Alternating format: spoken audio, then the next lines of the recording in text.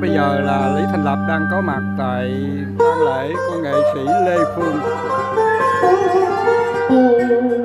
Đây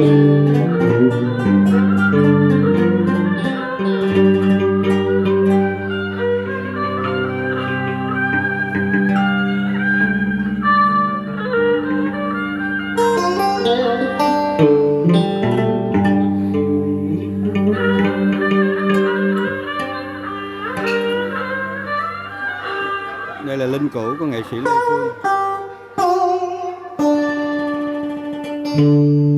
thank you.